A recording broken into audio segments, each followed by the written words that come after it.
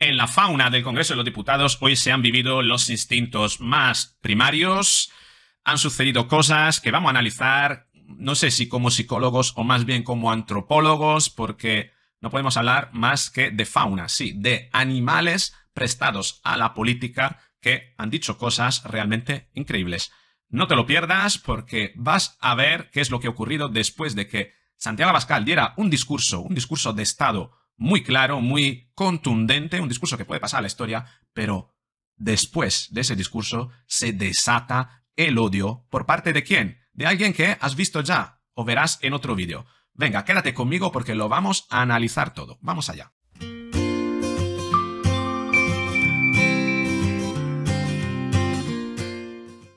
Así es, aquí lo tenemos, tenemos la imagen parada, lo tienes aquí. En esta imagen te pido que observes, Santiago Abascal acaba de eh, dar su discurso, un discurso que tienes en otro vídeo.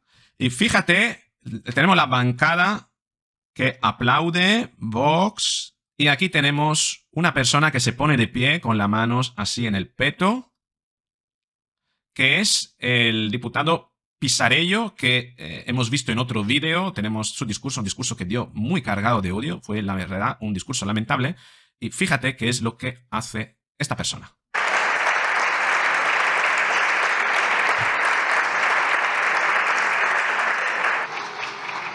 Gracias, señora Bascal. Señor Pisarello, ¿por qué me pide la palabra? Sí, Presidenta. Artículos 71 y 72 del reglamento por alusiones personales. Bien.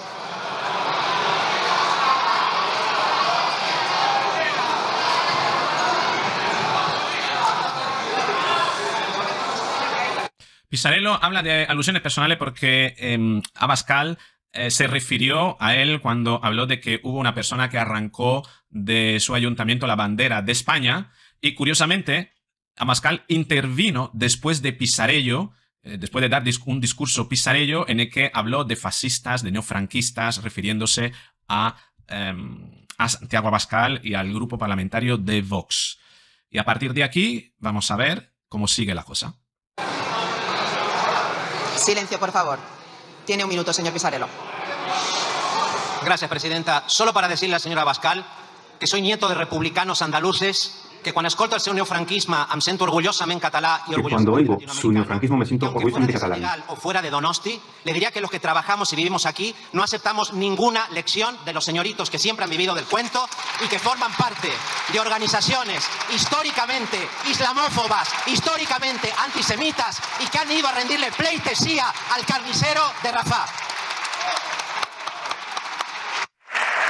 Fíjate con qué rabia, con qué odio habla de un... Esto es un complejo. Es decir, fíjate cómo arrastra, soy nieto de... Me da igual de quién eres, de quién eres nieto.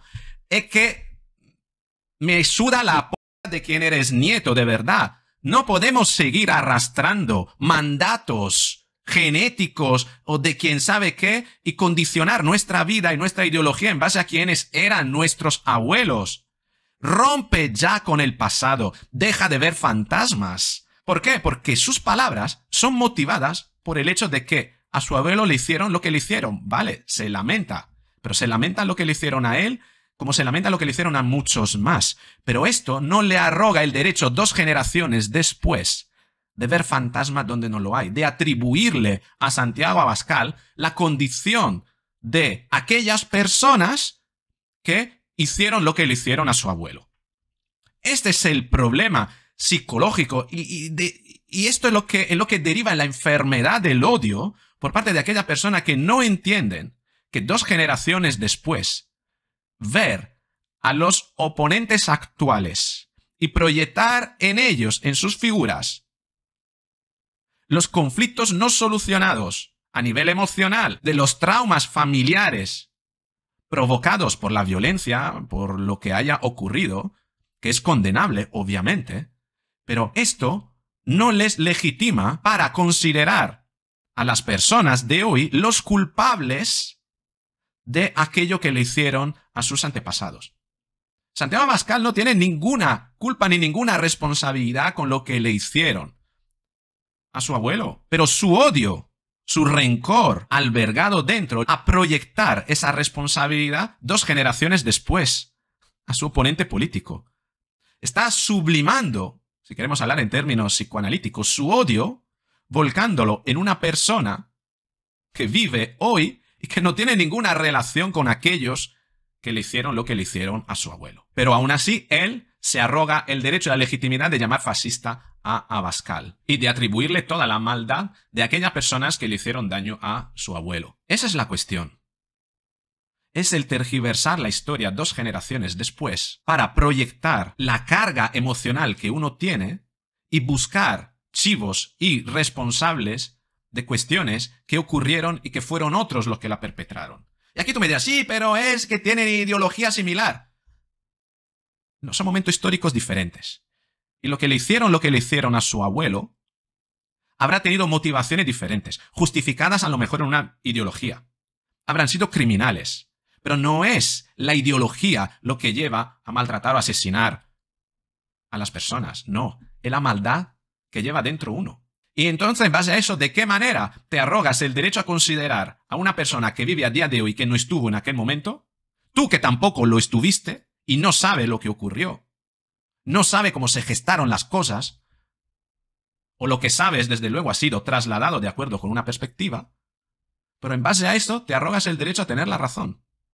A considerar que tu relato, a imponer tu relato y considerar que ese relato es el que tiene derecho a existir y hacerte actuar de la manera igual de cruel y con el mismo odio posiblemente de aquellas personas que le hicieron daño a tu antepasado. Te arrogas, por tanto, el derecho a utilizar el mismo odio que tú condenas hacia tu abuelo para proyectarlo a una persona que está viviendo a día de hoy y que es ajena a lo que puede haber ocurrido en tu familia. Así que resuélvete primero ese conflicto de odio porque esto es lo que te lleva a proyectarlo en la política de hoy y a buscar culpables en la gente que vive a día de hoy de aquellos, de aquello que le sucedió o que le hicieron a tu abuelo. Es totalmente enfermizo y es lamentable que haya personas en políticas que en política que tomen decisiones en base a estos mecanismos de pensamiento. Desde la no salud mental, porque esto no es señal de tener una salud mental adecuada para tener un cargo de poder. Y el mejor indicador de todo esto son las palabras que usa esta persona, la forma en la que se comunica, el lenguaje no verbal que tiene, la agresividad, el odio que se le ve en todos los músculos de su cara. ¿Cómo puedes hacer el bien para la, la, sociedad si llevas tanto odio dentro que no tienes resuelto? Vamos a ver cómo, cómo sigue esto.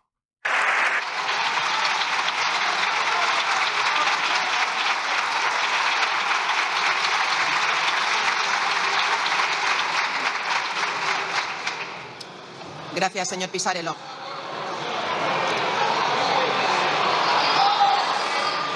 Silencio, por favor, señores y señoras diputadas. Silencio, por favor. El señor Figaredo pide la palabra. ¿Por qué, ¿Por qué pide la palabra? Por favor, un poco de silencio.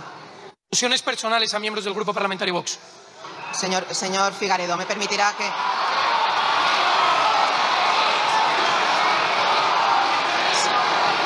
Por favor, por favor.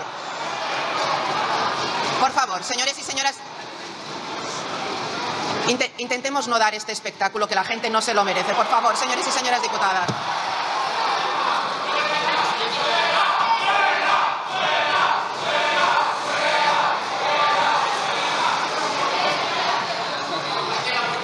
Esta mala educación no lleva a ningún sitio. Tiene la palabra.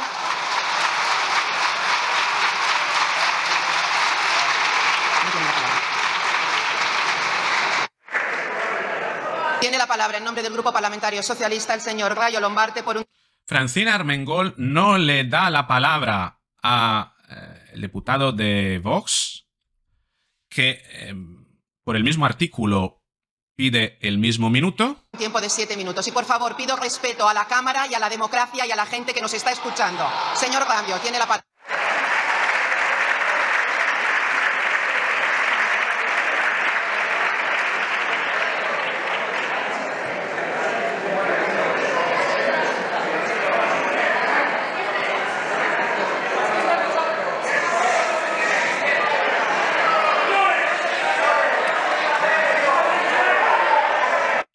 Veamos aquí la foto, Figueredo todavía de pie, hay alguien detrás que se levanta, pero aquí en la bancada de izquierda, muchos indicando, insultando.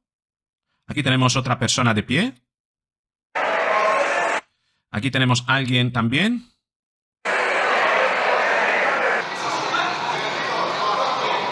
Por favor, señores y señoras diputados y los que están insultando, por favor, basta.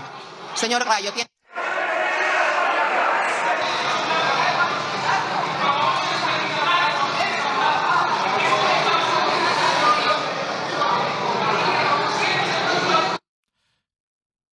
Figueredo se enfada porque no le han cedido la palabra.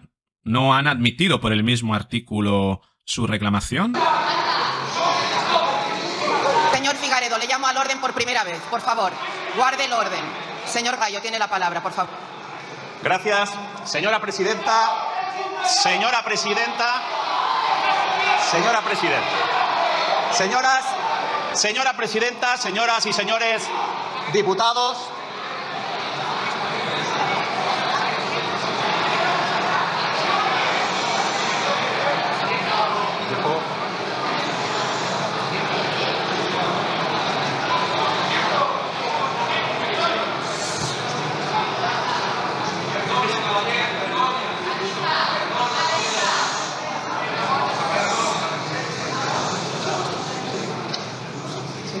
Señor Gallo, tiene la palabra. Señora presidenta.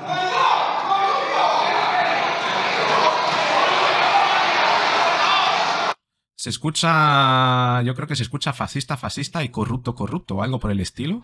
Señor Mariscal. Señor Mariscal.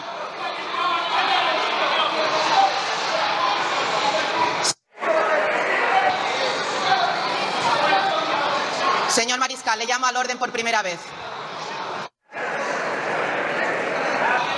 Señor, señor Gallo tiene la palabra.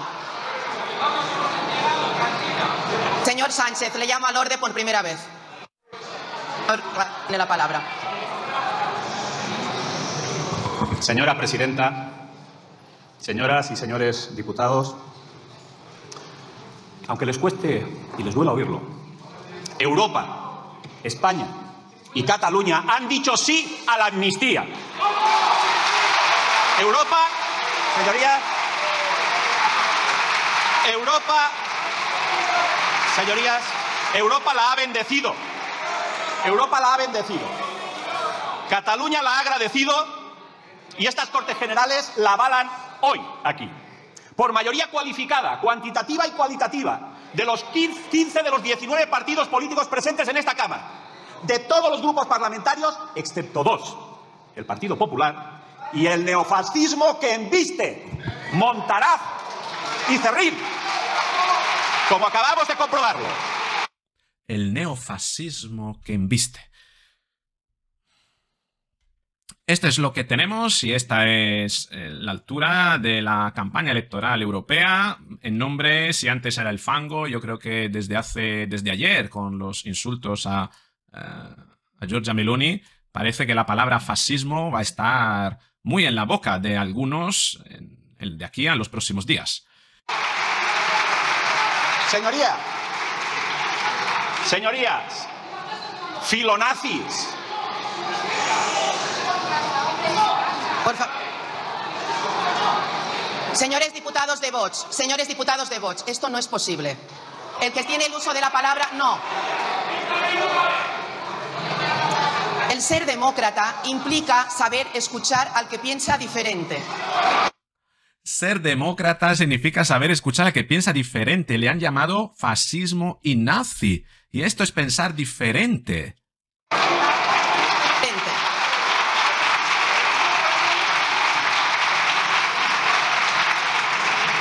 El señor ha tenido el uso de la pala- palabra y la gente le ha respetado, aunque muchos aquí seguramente no han compartido sus ideas. Por favor, ahora está en el uso de la palabra el portavoz del Grupo Parlamentario Socialista. Luego le corresponderá el turno al portavoz del Grupo Parlamentario Popular. Y yo pido el mismo respeto para todos y para todas. Sinceramente, eso es lo que se merece la ciudadanía y no estos gritos ni estos insultos. Por favor.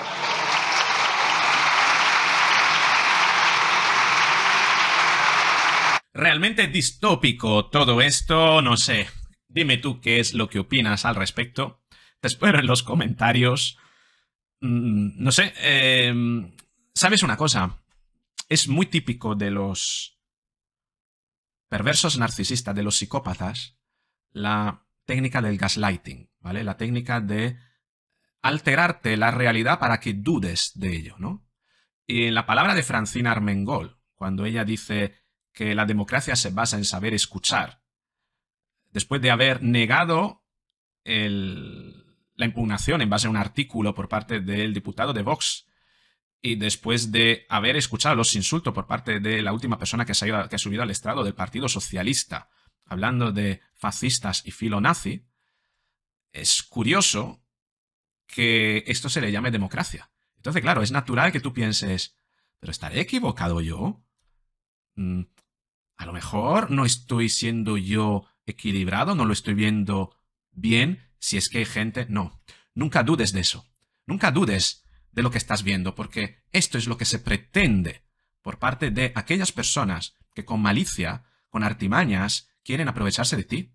En las relaciones personales, en el trabajo, sucede mucho en la pareja. ¿Cuántas personas he tenido que tratar yo? He tratado yo, no he tenido porque me ha gustado tratarles, que han venido envueltas en dudas, con su autoestima totalmente debilitada, porque han estado al lado de personas, ya sea en la pareja o en el trabajo, que le han contado una y otra vez sus películas, incluso negando la propia evidencia hasta el punto de hacerles dudar y creer que ellos estaban en lo equivocado. En eso consiste la estrategia, en hacerte dudar, en funcionar ellos como si fuera algo totalmente natural, no mostrar, como hace Pedro Sánchez, que no se le mueve ni una pestaña, ¿eh? para hacerte creer a ti que mm, posiblemente estés en lo equivocado. Esta es la estrategia de eh, las personas que cuando te manipulan se instalan en una seguridad porque lo que no consiguen contigo a través de los argumentos lo van a conseguir por la parte emocional. Lo van a conseguir por la persistencia con la que son capaces de aferrarse a un discurso por muy incoherente, por muy incongruente y por muy alejado de la realidad, que pero en base a la seguridad con la que se aferran a ese discurso y la capacidad que tienen de persistir en ello en el tiempo, al final tratan de prevalecer. Así que bueno, este es mi consejo si se trata de eh, sacar alguna conclusión útil que podamos llevar a nuestro territorio viendo cómo funcionan los políticos y espero que te pueda ayudar si en tu vida personal te enfrentas a situaciones como esta, donde la realidad te puede llevar incluso a hacerte creer que tú eres el que está equivocado. ¿eh? Así que nada, en todo caso, si tuvieras alguna duda al respecto, siempre me tienes a disposición también como psicólogo para asesorarte. Si te ha gustado el vídeo, dale a like. Si crees que puede interesar a otras personas, que lo compartas. Si no estás suscrito, suscríbete al canal. Suscríbete porque seguiremos analizando la actualidad, tratando de extraer enseñanzas desde la psicología que nos pueden ayudar en nuestra vida. Con esto es todo. Un beso. Nos vemos en el próximo.